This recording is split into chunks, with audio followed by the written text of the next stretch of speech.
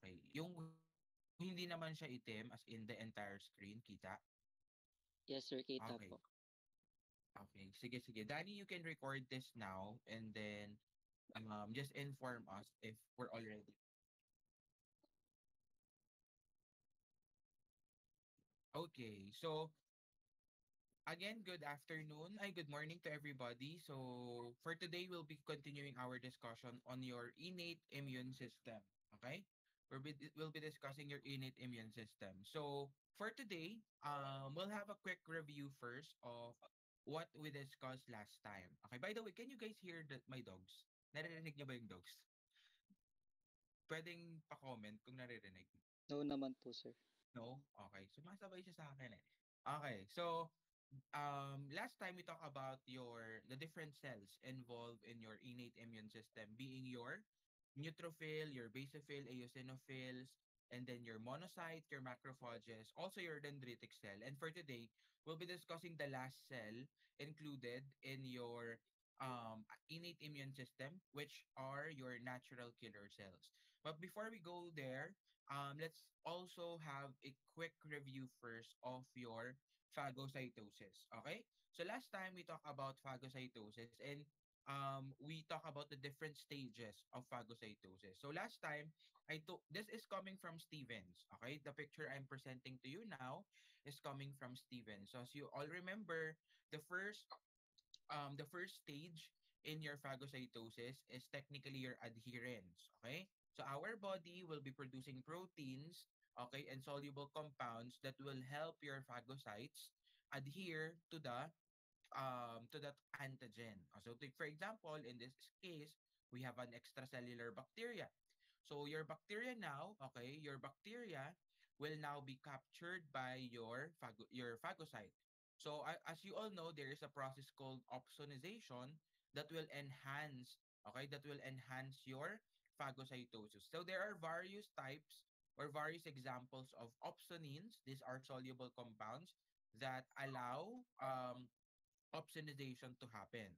So once that your phagocyte is now already adhered to the bacterial cell, it will now start to have its pseudopods. Okay, the pseudopods is now a signal that engulfment will be starting um, to happen. So during engulfment, okay, during engulfment, there will now be a formation of your phagosome. Your phagosome is where your microorganism um, will be located at, okay, once that you have your, um, once that phagocytosis happens, okay? Now, when phagosome is already um, inside your cell, your lysosomes in return will try to fuse with them. So this is now your fusion. Um, in your fusion, the um, lysosomes, okay, will fuse with your phagosome, forming your phagolysosome, where your digestive enzymes will be released. Okay? Your digestive enzymes will be, again, released. So once that your um, enzymes, your digestive enzymes are released, your digestion and destruction will now start to happen. So in digestion, once that it already finished, your um, bacterial debris, the debris from the phagocytosis will now be excreted through exocytosis. Okay? It will now be excreted through exocytosis. So, moving forward, let's just have a quick review first of what happened inside your phagolysosome. So, inside your phagolysosome, um, there can be two mechanisms on how your phagocyte eliminate your organism. So, what are those two? I think I already mentioned this last time. Okay? It is through the process of oxygen depend oxygen dependent processes and it can also be through oxygen independent processes. Okay? Oxygen dependent processes and oxygen independent processes. So oxygen dependent processes is the pro- is where um, reactive um, oxygen species will be produced inside your cell and in return this will now be the one to destroy okay it will be the one to destroy the bacterial cell wall so that it can be lysed and it could be digested and it could be destroyed by your phagocyte. Aside from oxygen dependent processes, there can also be oxygen independent processes. This time, we do not need um, your NADPH oxidase enzyme anymore because we simply have your defensins and your catepsin G. So they are the one that will elicit the um the elimination and the digestion of your antigen. So antigen being a bacterial cell or other protein that um our phagocyte had encountered. So here, as you can see, you have your NADPH oxidase. Okay, your NADPH oxidase. Uh, remember your NADPH oxidase came from your HMP, your hexose monophosphate shunt. Okay, so now that you have your NADH, uh, NADPH oxidase, your reduced NADP, okay, your reduced NADP, it will now form superoxides. Okay, superoxide and other um um other reactive oxygen molecules or species that will again destroy the cell wall of your bacteria, okay? Or your um, cell or any invading cell that enters our body. Now, okay, um, this is the normal scenario that happens inside our body. But then again, there are also diseases that can be associated with phagocytosis. Okay? So what are those diseases associated with phagocytosis? The first one being your uh, chronic granulomatous disease. In your chronic granulomatous disease, it is a disease that is characterized by the absence of your NADPH oxidase. So because your body or your cells doesn't have your NADPH oxidase, they cannot perform the oxygen dependent processes for the elimination and digestion of your antigen. And to tell you, this is actually the most common um, one that is being done inside our body.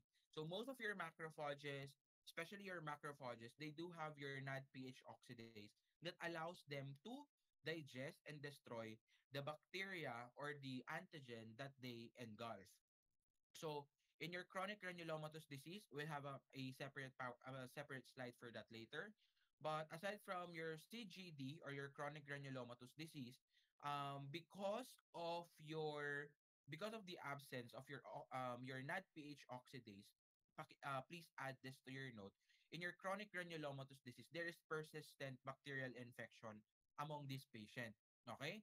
Because again, your body or your phagocyte cannot address the bacteria or cannot destroy the bacteria, your bacteria will start to persist or will start to survive inside your body. Okay? So aside from chronic granulo- granulomatous disease, we also have your lazy leukocyte syndrome.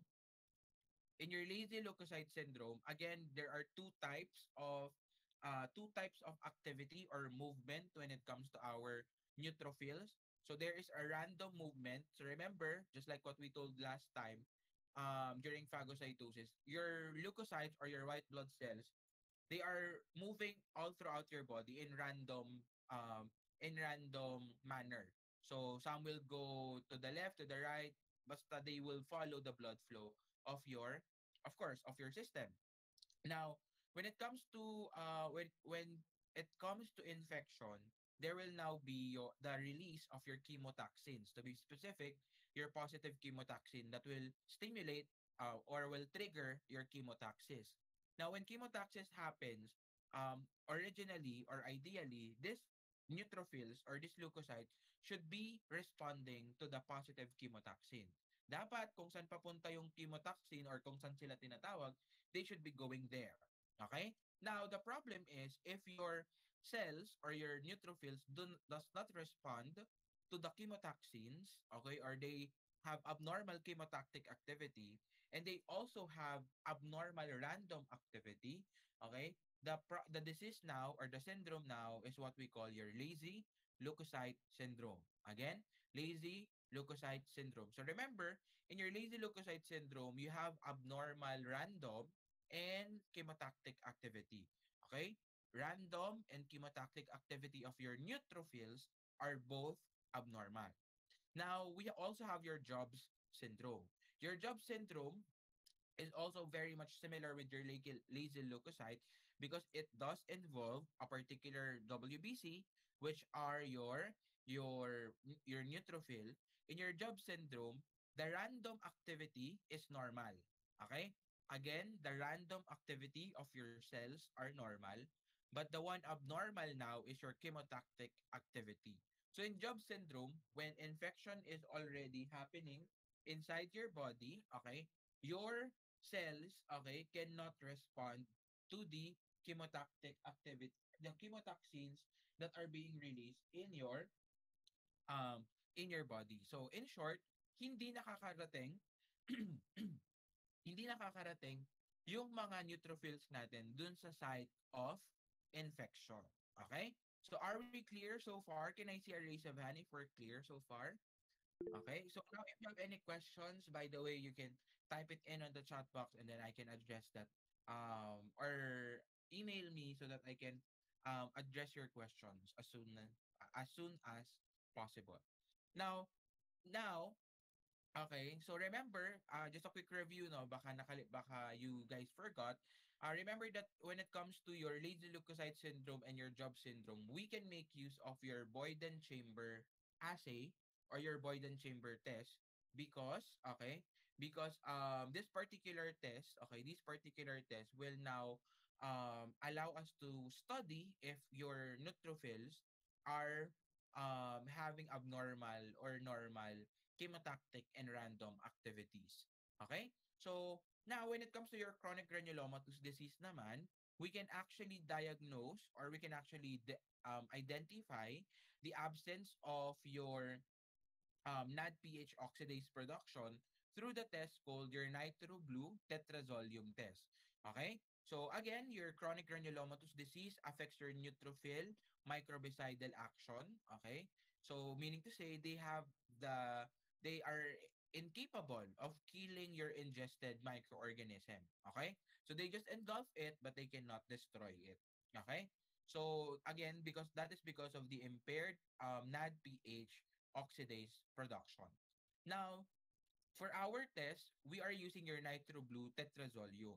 Remember, ladies and gentlemen, that your your nitro blue tetrazolium is colorless by default. Okay? Colorless po yan. Okay? Now, if there is, uh, I want everybody to listen carefully, no? If there is a presence, okay, if your NADPH oxidase is present, that colorless um, nitrous blue tetrazolium will now form your blue precipitate. Okay? Again, if you have your NADPH oxidase, that colorless color, that colorless um um NAD your your colorless nitro blue tetrazolium will form your blue precipitate. Okay?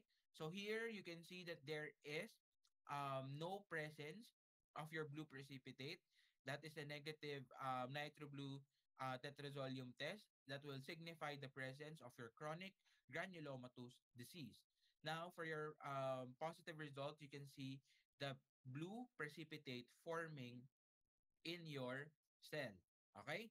Remember ha that your nitro blue uh, tetrazolium was reduced. Okay? There's a reduction that happened because of the product of your NADPH oxidase. Remember, di ba, dito, your NADPH oxidase will form your superoxide, forming your hydrogen peroxide, your hydroxyl radical, and also oxygen and water. Okay? Now, because of these um, product, specifically your hydrogen peroxide, okay, your nitro blue tetrazolium has been reduced, now forming your blue precipitate. Okay? So that's how you check your chronic granulomatous disease. Aside from your nitro blue tetrazolium test, there's also another test we can do, okay, to identify your chronic granulomatous disease. And that is through your flow cytometric assay or your flow cytometry. So this is a new procedure to diagnose your chronic granulomatous disease. It is said to be more objective and it is quantitative. Kasi in your nitro-blue tetrazolium test, you just identify the absence or the presence of the blue precipitate. Okay? Again, the absence or the presence of your blue precipitate. So you just technically report a positive or a negative result.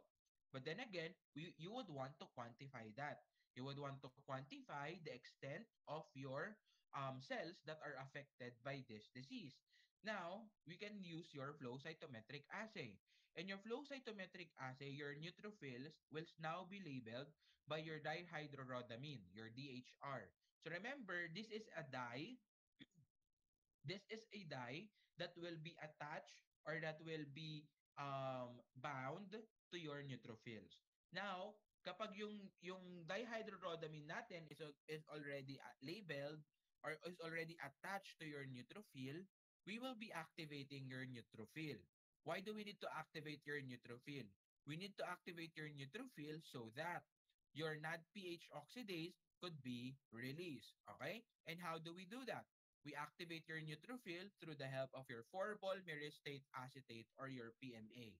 Now, your 4-bol myristate acetate will be added to the solution.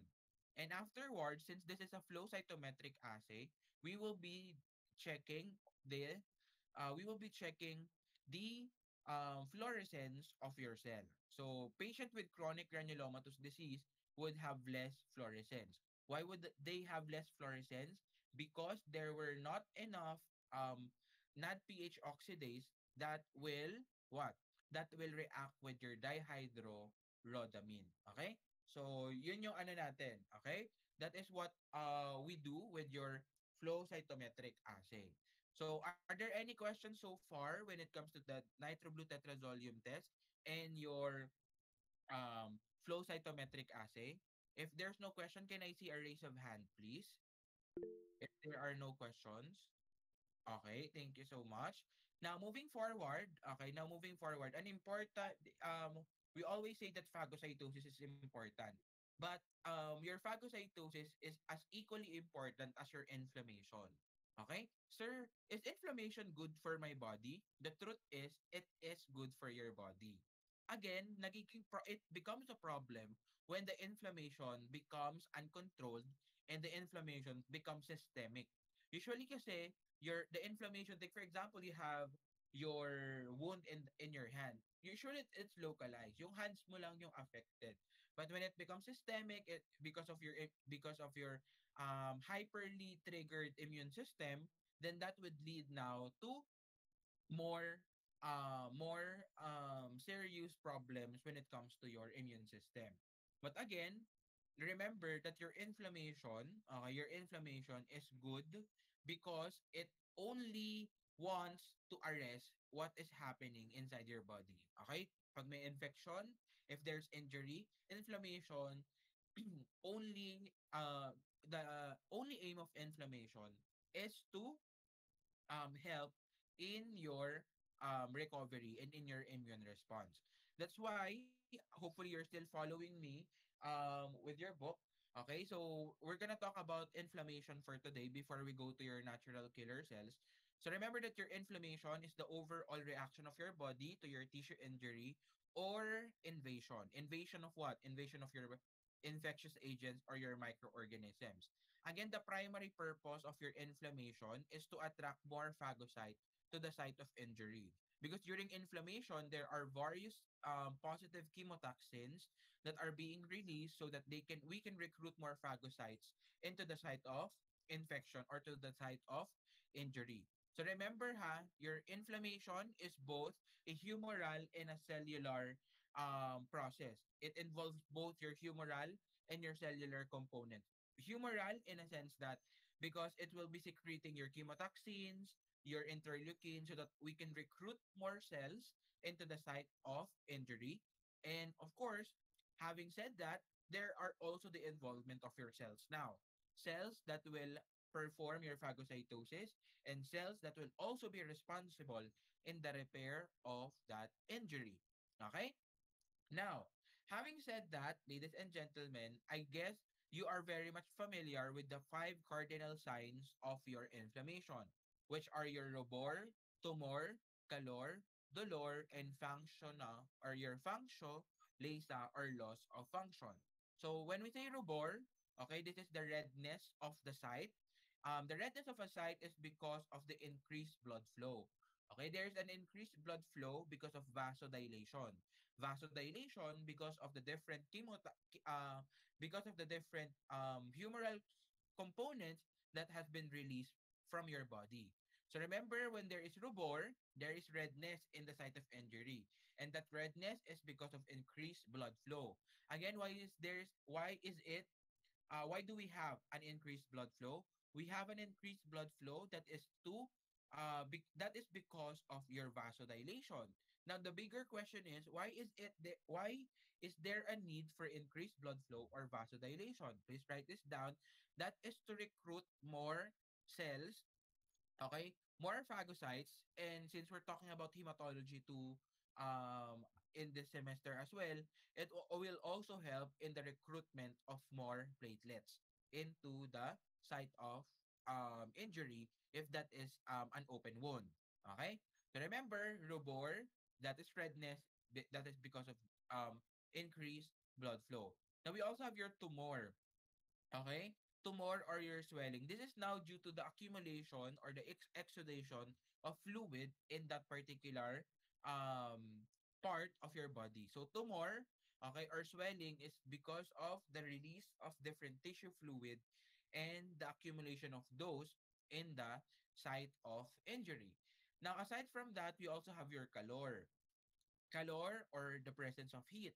Okay, heat, it is also because of your increased blood flow. Okay, increased blood flow, exudation of fluid, and of course, the release of your mediators. Okay, there are there are different uh, mediators, specifically your interleukins, that causes an in, um, an increase in the temp but in the temperature sometimes not only of the localized site but also of your entire body that's why, did you know, guys, that fever is actually an immune response. Um, the presence of fever, okay, is that that the reason why we have fever is to increase, obviously, your body temperature. Why do we need to increase your body temperature? Remember, in your bacteriology before last semester, your um, bacteria, most of your pathogenic bacteria thrives at um, our normal body temperature, which is 37 degrees Celsius. Now, your 37 degrees Celsius would need to be increased so that these pathologic or pathogenic um, or infectious agent will not survive inside our body. Okay? So, remember that. Okay? Remember that na your that your um your heat okay your heat actually is an immune response okay? The pres the increased heat is actually an immune response. Now aside from heat we also have your dolor okay? Dolor which is um the presence of pain. So pain is uh, the physiologic rationale for pain is that you're stretching pain receptors and nerves because of your inflammatory exudate or chemical um um chemical mediator. So remember, 'di ba, you have your the exudation of your fluid. Uh, because of the exudation of your fluid, there are some nerves that are being uh, pressed on or that are being um affected, leading now to the presence of pain or dolor. And lastly, we have your loss of function or functionalisa. This is because of your pain and the disruption of your tissue structure. Especially if you have a massive um, or a big injury um, that is present. So there will really be a loss of function in that particular area. Okay, so remember that ha, robor, tumor, calor, dolor, functionalisa. So please remember what does they mean. So that is redness, swelling, heat, pain, and loss of function respectively. Okay? Now, um, similarly, okay, similarly to your phagocytosis, okay, similarly to your phagocytosis, there are also stages of your inflammation. So there are three major um, stages. The first stage in your inflammation is your vascular response. In your vascular response, um, this is now the release of your histamine. Your mast cell, remember your mast cell, okay, they will be releasing your histamine. And that histamine will now be a an active vasodilator. Okay? So again, ha, please write it down on your notes. Remember that when there's injury, a lot of cells will be recruited into the site of um, injury. One of those are your mast cell. Your mast cell now will be releasing your histamine. Your histamine, a vasodilator, will again increase your blood flow and will increase your capillary permeability. Okay? Your capillary permeability. Now, the capillary permeability would now be um, the result the result of your capillary permeability will now be your swelling. Okay? That is because um, magli-leak out na yung mga uh, tissue fluid out of your um, cells. Next, we also have your we also have your vascular uh, we also have your cellular response. So in your cellular response, we have now your neutrophils and your macrophages. So they will be recruited to your um they will be recruited to the site of injury. So the first to migrate, sabi ko nga sa inyo, the first to migrate are your neutrophils. Okay? And the second to migrate are your macrophages. Technically, we call them macrophages already because once that they go out of your once that they go out of your uh, blood vessel, they will now become macrophages. Again, what what do we call the process of your cells um traversing your blood vessel? What do we call the process whereby your cells goes out of your blood vessel? Okay, I'll give you five seconds. Five, four, three, two, one. Okay, that is what we call your your diapedesis. Okay? That is what we call your diapedesis. So your diapedesis is the process whereby your cells goes out of your blood vessel. Okay? Now, after your cellular response, a final um a final um, um event or a final stage will happen which is your resolution and repair. In your resolution and repair, this is usually initiated by your fibroblast proliferation. Okay, your fibroblasts, are stem cells that are found usually on your tissue whereby um, sa kanila manggagaling yung new cells that will um, participate in the repair. Okay? So remember ha, there are, um, I just want to mention two, uh, not two, two pala, just one. Okay? Um, a while back I was mentioning about your interleukin that causes your, um, that causes heat or that causes an increase in your body temperature, that is your interleukin 1. Okay? Your interleukin 1 um stimulate the stimulate or recruit the the the migration of your lymphocytes, your T cells that is for next meeting's discussion, okay? And aside from that, it is also a pyrogen, okay? A pyrogenic interleukin, meaning to say they increase your um body temperature. Okay? That is your interleukin 1. So just to visualize, this is what's happened, okay? So uh, once that there's injury, there will be capillary widening or your vasodila- uh, vasodilation and increased capillary permeability, okay? The capillary widening or your vasodilation will result to an increased blood flow. Your increased capillary permeability, I hope you're following my laser. Uh, the increased capillary permeability will result to a release of your fluid that is now your tumor. The um, aside from that, there will now be an attraction of your white blood cell. That is because of your chemotaxins. So as you can see, we have cells that are undergoing diapedesis, um, and they will now migrate to the site of injury. And now as a systemic response, okay, there will now be fever and proliferation of more white blood cells. So this is now your um, calor, okay, this is now your calor, whereby it is initiated by your interleukin 1.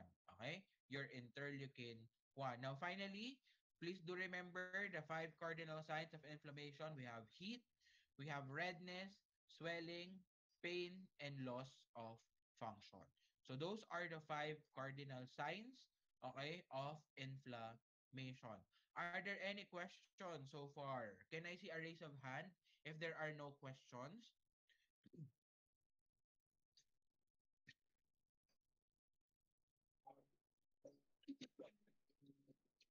Okay, there are no questions. So now, let us proceed to our um, next stop, uh, next discussion, which will now be about your natural killer cells. Okay. So as you all know, guys, okay, remember that your uh, one of the things that we highlighted during phagocytosis is the fact that your phagocytosis are only is only for your extracellular um, pathogen. Okay, extracellular antigen. Now, the big question is, sir, if our phagocytes are only capable of killing extracellular um, pathogen, what happens now if I have an internal or an intracellular pathogen within my cell. Okay? And we're we're still guys ha, let us just um try to be on the same page. We're still on your innate immune system. Meaning to say we are talking about cells that are naturally found inside your body. Okay, naturally found inside your body and their um role is in your innate immune system. Okay? I hope we're clear with that. Now, we have your uh, your natural killer cells. Okay? Your natural killer cells was first thought to be part of your adaptive immunity. Why, sir? Because if we're going to look at the um, hematopoietic lineage of your natural killer cells, your natural killer cells, unlike your neutrophil, eobaso, and monocyte, they all came from your common myeloid progenitor or your common myeloid lineage. Unlike your natural killer cells, your natural killer cells actually branch out from your common lymphoid progenitor. Okay? It came from your common lymphoid progenitor, the lineage where your B cell and your T cell are produced. Okay? Now, the reason why I am we are going to talk about your natural killer cell is because just as we need your phagocytosis to arrest the extracellular pathogens, we also need your natural killer cell to arrest those that are intracellularly invading our body. Okay, these are now your intracellular um, pathogen. And not only that, this also involves abnormal cells of your body. Abnormal cells such as your tumor cells and even your um, cells that should be undergoing apoptosis already. Okay? Now, what is the action of your natural killer cell? Your natural killer cell, ladies and gentlemen, are your first line of defense against your intracellular organisms and even your tumor cells. Intracellular organisms such as your viruses or other parasite and other bacteria and also your tumor cells. We say that it is the first line of defense because it is part of your innate immune system. Now, your natural killer cell has this unique ability among all the innate um, cellular components. Again, ah, I want to be clear. Among the innate immune cells, okay, among the innate um, cellular components of your um, natural immunity, they have the ability to kill target cells without prior exposure to them. Okay? Sir, why do we need, what do you mean by prior exposure? Remember that your lymphocyte, to be more specific, your cytotoxic T cell, do not worry, we'll be discussing that um, on our next discussion. Okay? We'll be having that on our next meeting, the different types of your lymphocyte. Your cytotoxic T cell can kill your can kill any any cell, any cells um from your body and also any um any antigen parasite that comes inside your body. But your cytotoxic T cell needs expo um prior exposure. That is now um uh, what we're going to talk about when we discuss your antigen presentation. Are we clear? Can I see a raise of hand? So in your cytotoxic T cell, okay, thank you in your cytotoxic T cell, they need antigen presentation.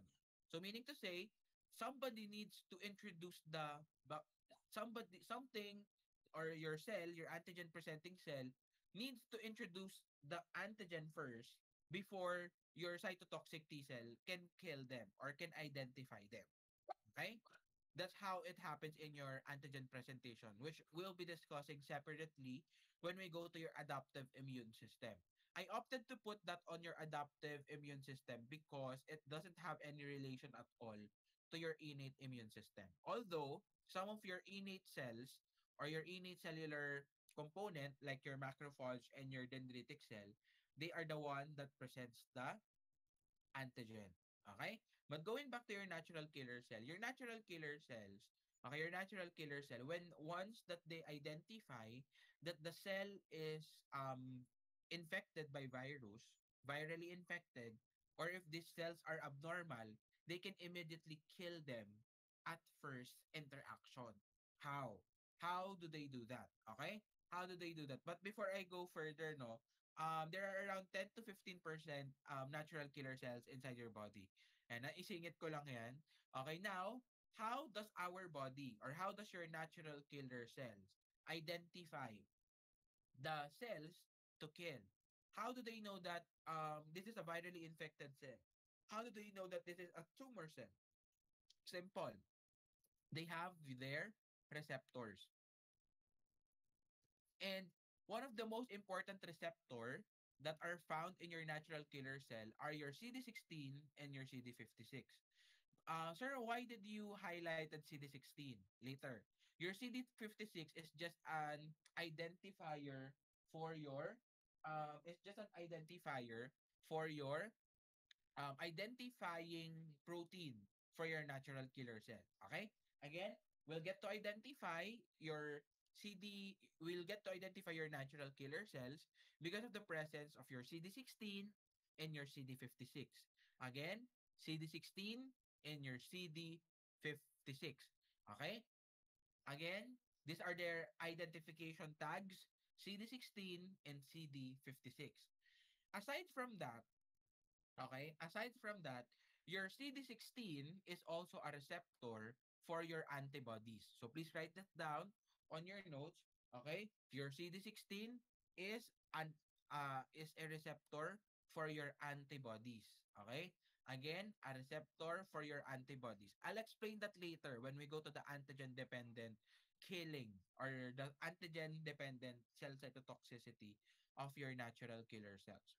But in general, the reason why your natural killer cells are very much powerful and are able to kill your your target cell that is because they possess enzymes such as your granzymes and your perforins okay? They do contain your granzymes and your perforins one moment lang one moment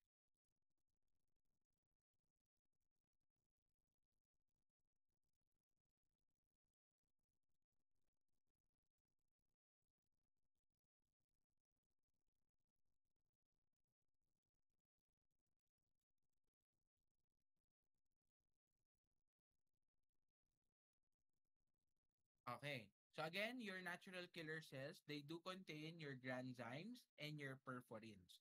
Okay, your granzymes and perforins are very potent um, enzymes that are being released by your natural killer cells so that they can kill the bacteria. Okay, they can kill the bacteria. Now, before I move forward, now before I move forward, I also would like to um include in this discussion your interleukin 15 Okay? Your interleukin 15 is an important interleukin for your natural killer cell development. Okay? Again, ha, do not get confused. CD16 is the one found on your cell as a receptor. Your interleukin 15, 1,5, is a cytokine that um are that is important for the development of your natural killer cells. Can I see a raise of hand for clear, please? Okay, good. Now moving forward, okay, um, let's talk about your enzymes. Okay, there are two enzymes expressed exclusively um, on your natural killer cells and another cell, which are your cytotoxic T cell. Okay, your cytotoxic T cell and your natural killer cell, they are the only two cells that possess your granzymes and your perforin. Okay? Your granzymes, okay, they induce your program program cell death in your target cell. And this is what we call your apoptosis. Okay? They induce your apoptosis. That's why not only can natural killer cell arrest your virally infected cell and your tumor cell, even yung mga old cells ninyo in the body that needs to go, okay? That needs to go, they will just sim- they will just simply release your granzymes, okay, they will just simply release your granzymes and they can induce your cell death or your program cell death or what we call your apoptosis. Aside from that, we also have your perforins, okay? Your perforins is a membrane disrupting protein. It is a membrane disrupting protein that will form pores or hole in your um, cell wall, okay? Or the cell membrane rather of uh, they will form um, holes or pores in the cell membrane of your cell. And once that happen, everything that is located inside your cell will start to leak out, okay? Will start to already leak out, okay? So, are we clear so far when it comes to granzymes and um, perforins? Can I see a raise of hand if we're clear?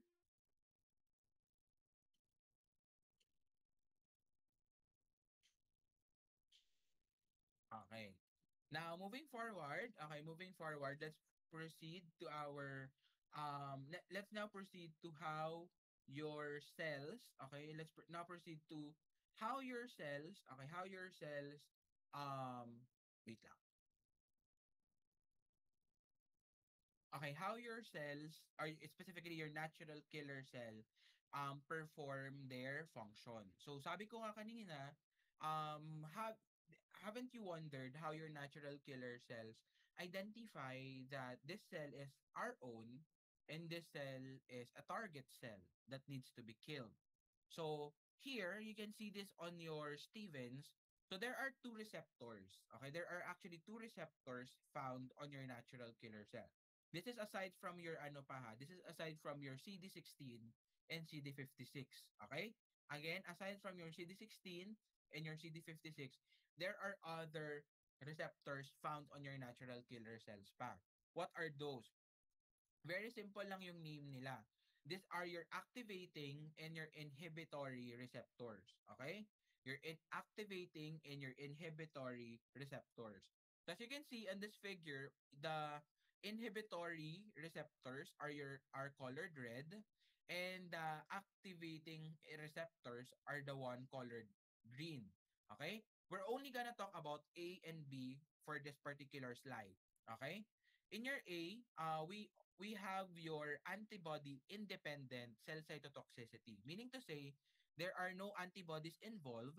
It's really just your cell, okay, your natural killer cells and the target cell that will come into contact. Okay? As you can see in um in figure letter A, we have your natural killer cell. And your natural killer cell, okay, was bound to this protein. This protein that you see here, um, the one I'm pointing at, at my laser right now, I hope everybody is looking at your screen. This protein that you see on your target, supposedly target cell, these are your major histocompatibility complex. Okay? These are your major histocompatibility com major histocompatibility complex protein. Okay? Major histocompatibility complex protein that are found on your cells. These are usually found on normal cells. All cells of your body, all nucleated cells of your body has your MHC, your major histocompatibility complex antigen or your HLA antigen. Okay? They're, they're one and the same. Now, because of the presence of this protein, it will now send a signal an inhibitory signal to your natural killer cell. Again, because of the MHC interacting with your inhibitory uh, receptor, okay, inhibition will happen and there will be no killing. Okay? There will be no killing. Now, this happens to your normal cells. Kaya hindi sila napapatay. Kaya hindi sila nade-destroy ng natural killer cells natin is because of this phenomenon. Now, what happened if there's a virally infected cell now inside my body? Let's go to letter C. Okay, this again is antibody independent. There is no antibody involved yet. Okay? Now, your virally infected cell, as you can see, um, they will start, because they hijack, okay, because they hijack your DNA machinery, they will also be producing proteins. Proteins that are usually not found in your normal cells. Now, this virally infected cell produce proteins, okay, and are now expressed on their membrane, okay? And as you can see, this natural killer cell will try to inspect. Ay, inspect lang natin. Do you have the MHC? You do not have the MHC. Okay? Wala daw MHC. Now, because there is no MHC or HLA antigen present on this cell, it will now start, okay, it will now start to bind to the unknown proteins. And that will now signal or that will now send an activa- activation signal, okay, an activating signal to your natural killer cells. And once that activation of your natural killer cell happens, what will uh, what will be the next uh, what will be the next happening in your in your system? It will now release your granzymes and your perforins, leading now to the apoptosis of your virally infected target cell. Can did you get the difference between the two? You have two genes, the inhibitory and the activating gene, or rather the in uh, inhibitory and your activating receptor. Okay? Once that it sends an inhibitory signal because of the presence of your HLA antigen or your uh, major histocompatibility complex antigen, it will not result to the destruction or the killing of your cell.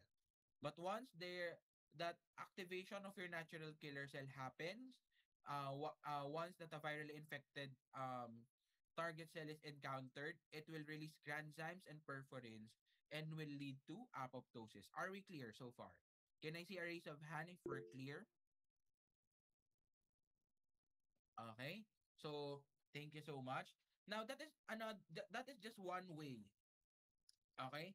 That is just one way of how your um how your um natural killer cells, okay? That is just one way of how your natural killer cells identify and kill the target cell. Okay?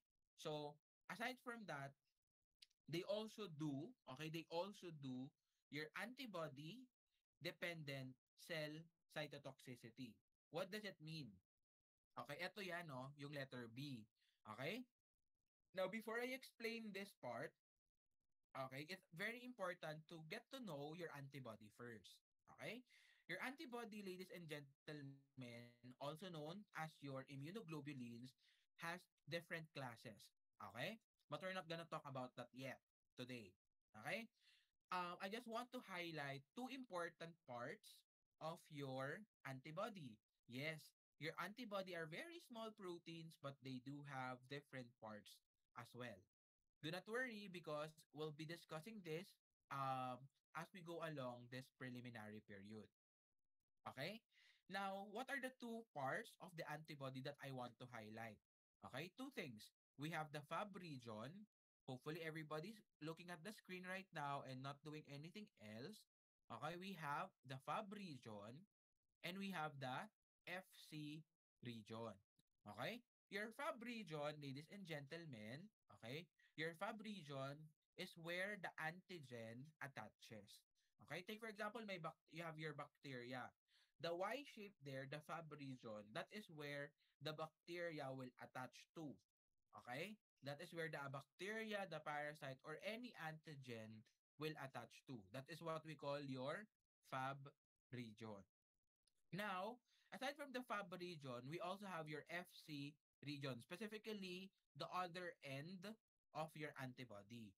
Your FC region is where your complement will bind, and this is also the very same position in your antibody where your CD16, okay?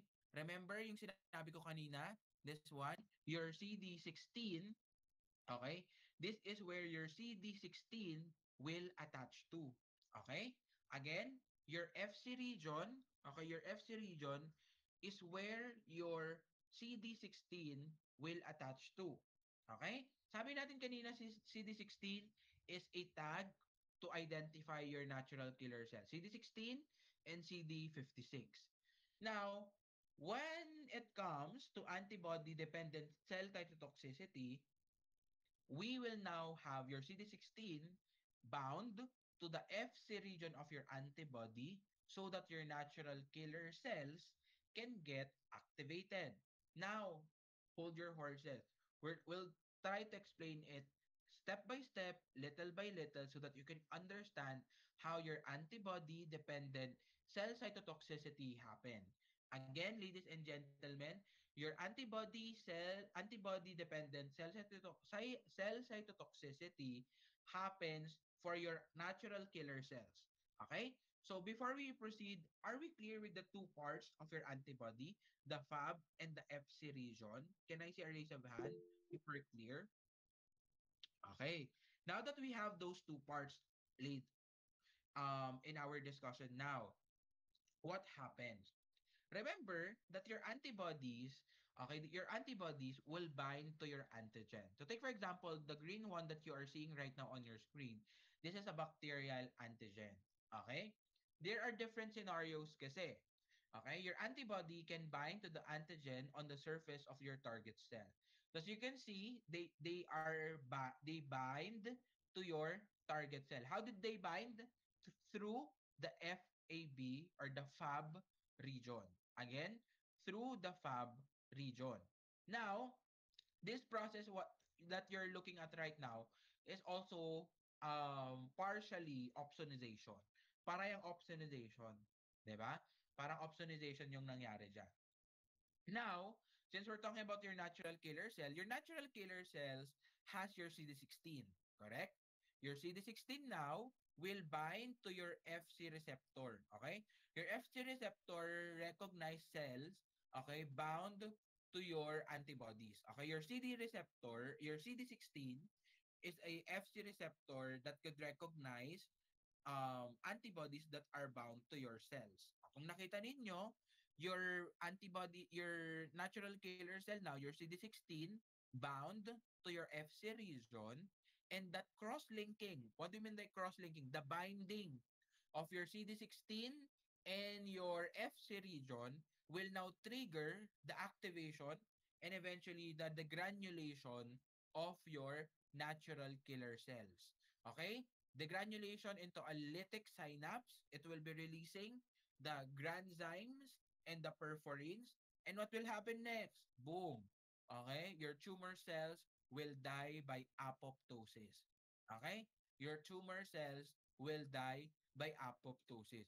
Your, now, your antibody-dependent cell cytotoxicity is a promising uh, a promising solution to cancer. But again, later on when we reach our tumor immunology, you would know and you would realize that there are also proteins released by your tumors that mimics, okay? That mimics your HLA. That's why your natural killer cells can no longer identify them as tumor cells. Okay? But again, okay, for at, apart, um, for certain types of tumor cells, this is what happens. Okay? Same lang yan. Okay? Again ha, uh, I hope the story, okay, a lot of the things in immunology are based on stories, um, mechanisms, processes. So I hope you guys are listening step by step. So here, similar din. Okay? Here we have your natural killer cell. You have the antibody. As you can see, the Fab region is the one attached to the antigen of your cell, of your target cell, and then your CD16. Mm-hmm. Your CD16 will now become will come into contact with your FC region. That cross-linking will trigger what? The activation and the degranulation of your natural killer cells, releasing your granzymes and perforins. Therefore, okay, eliciting the apoptosis or stimulating the apoptosis of your cells. Are we clear? Can I see a raise of hand if we're clear on how your natural killer cells perform the antibody-dependent cell cytotoxicity? Okay? So imagine no, all of these things are happening inside your body as we are, are speaking right now. Okay? So this is really, really fascinating. Okay?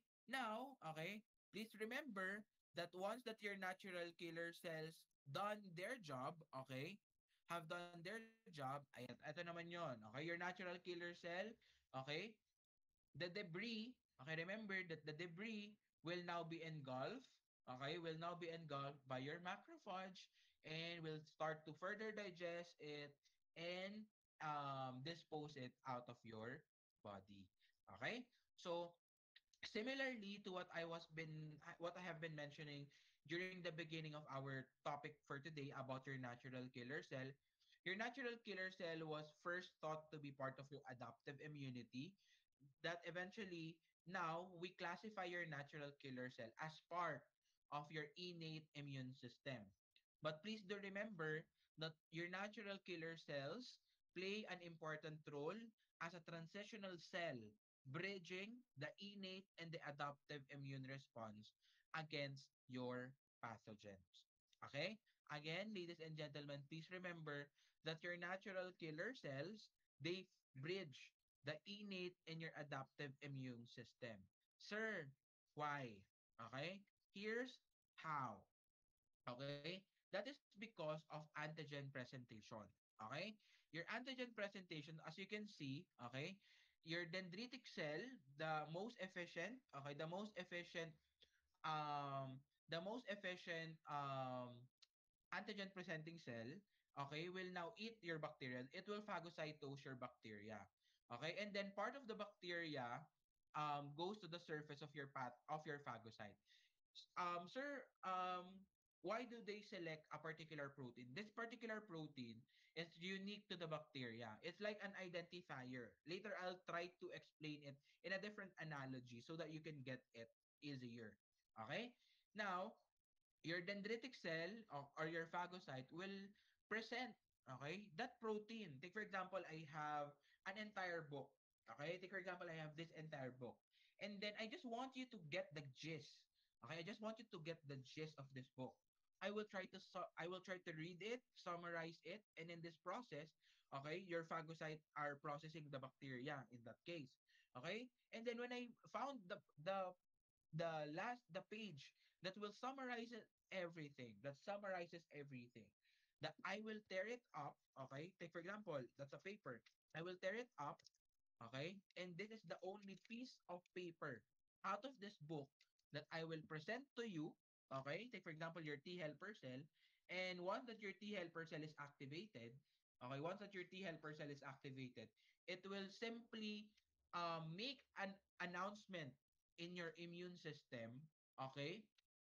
In your entire immune system, okay, informing all of your cells, natural killer cells, and cytotoxic T cell to kill all bacteria or all cell that would possess this particular protein in their membrane.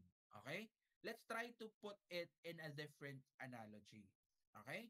Take for example, I have my cute bears here that I got from a dedication. I'll, I'll use this as an example. So take, can you guys see the ano? Can you raise of if you guys can see the the doll. Uh, take for example, I have this um uh I have this bear. This is an antigen. This is a pathogen. Okay? Now, um, your dendritic cells, your macrophage, will identify them. Or there is a there. I think for example, there's this is a antibody, and opsonin. So I would know which to engulf. There's an an invader inside our um inside the system. So they will try to arrest that. Okay? They will try to engulf phagolysosome. Okay? And then it will now be engulfed inside your inside your cell and phago, uh, phagolysosome will be produced and then um, your dendritic cell now will process this particular antigen. And the goal is to choose the protein, okay, that is most unique to this particular antigen. And in this case, I would like to present the head, okay? I would use the head. So, this particular, the head, okay, yung head, the head of your antigen or the, the identifying or the unique protein of your antigen will now be the one presented by your dendritic cell. Okay, now I would go to each helper cell. Okay, T helper cell. Your dendritic cell is the ultimate marites. Okay? Your dendritic cell is your ultimate marites. Why? Because your dendritic cell will go to all of your T helper cell. Okay, T helper cell, this is how the bacteria looks like. Okay? This is how the bacteria looks like. Okay, uh, uh, okay, T helper cell. This is how the um, bacteria looks like. And the T helper cell now will get activated and will see, T helper cell now is like the the another marites that will deliver the message that will activate the entire immune system so that the next time that they see another okay the next time that they see another bacteria okay the next time that they see another bacteria they will be able to kill those pathogens and antigens inside your body. So that is generally a um, a quick um, introduction of antigen presentation. Did I made myself clear, guys? Um, did you have an uh, at least an idea now how antigen presentation happens? Um, I will be discussing this separately naman uh, when we go to your MHC. Are we clear with antigen presentation? Can I see a raise if we're clear?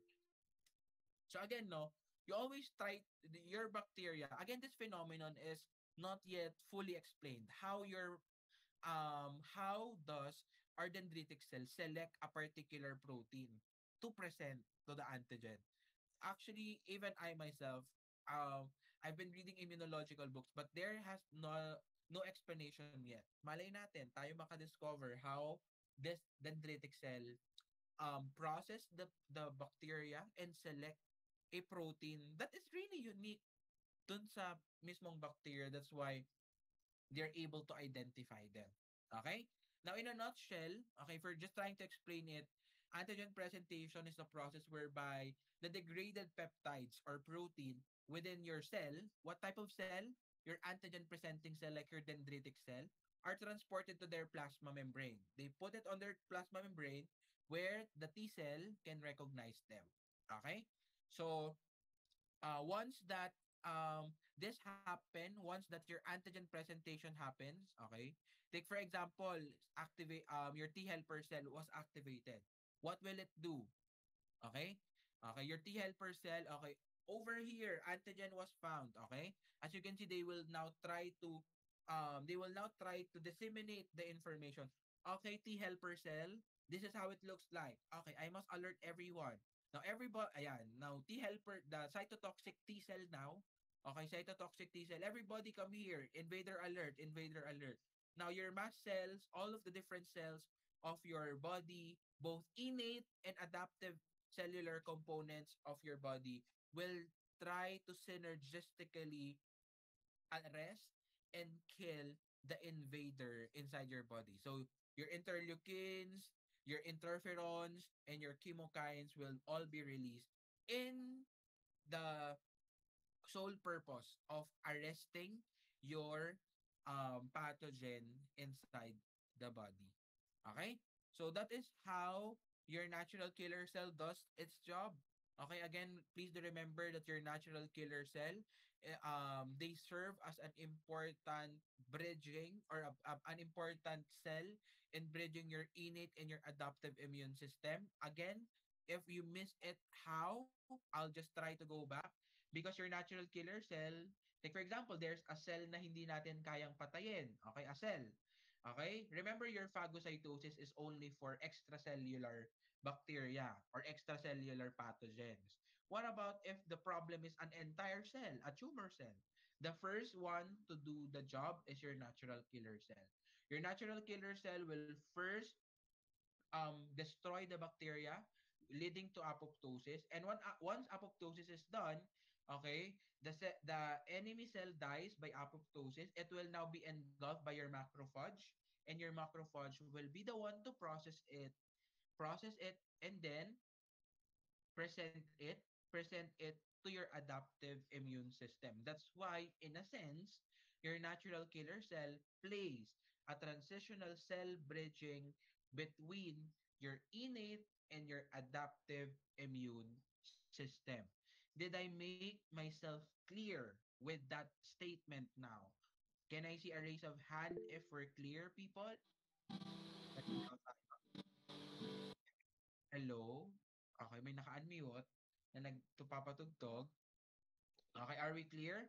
So, hopefully we're clear with that. Okay, so ladies and gentlemen, thank you for listening to our discussion. Um, I will now be opening the floor for any questions or clarification.